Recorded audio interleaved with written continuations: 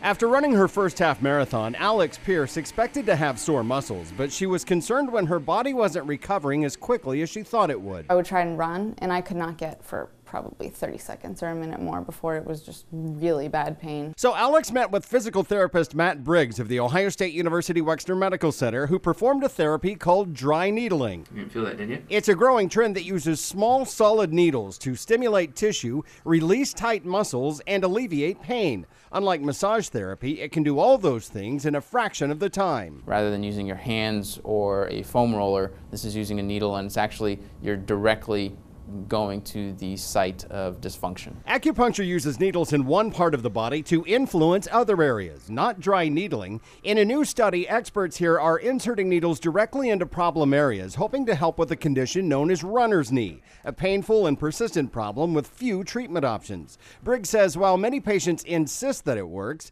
his team is looking for proof. There's a theory that it, it changes the way the nerves function and it changes the way the muscle functions.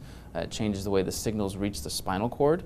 Um, and what signals reach the spinal cord and how people perceive pain. While researchers test those theories, Alex says she has all the proof she needs because just a few needles in her knee is all it takes to get her back on her feet. This procedure will help you keep gaining fitness.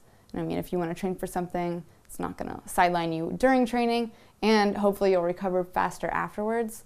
Um, that's a big deal. At Ohio State's Wexner Medical Center, this is Clark Powell reporting.